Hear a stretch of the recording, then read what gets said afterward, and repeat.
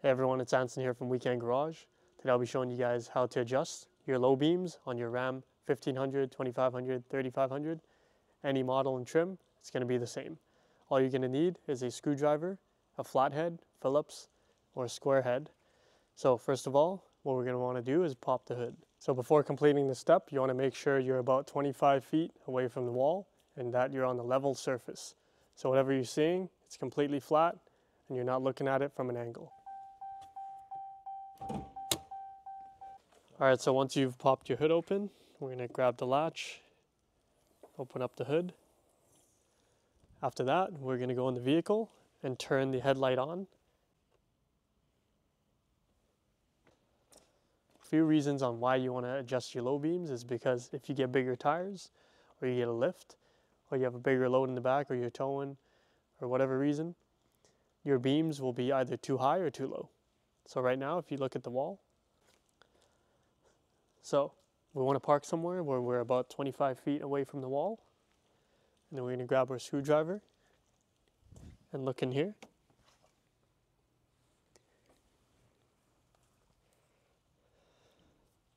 Here, look in here. If you look down here into the engine bay, you see it? There will be a white circle where it'll accept a Phillips head, a square socket, or a flathead. So once you get it in there, clockwise will raise your headlights.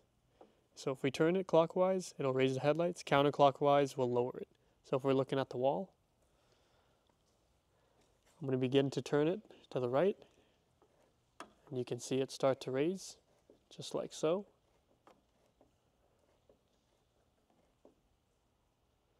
Now we're going to go on the other side and make sure it's balanced.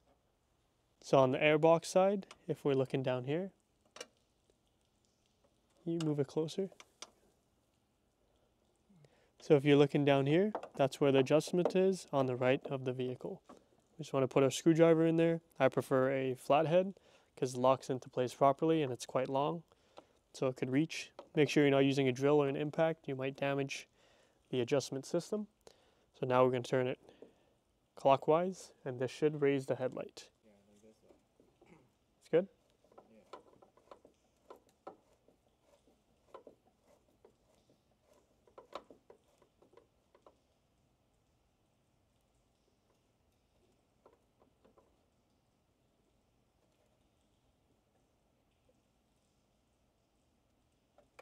It's pretty even, right?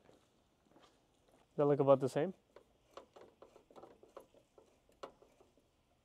How's that? Is good enough?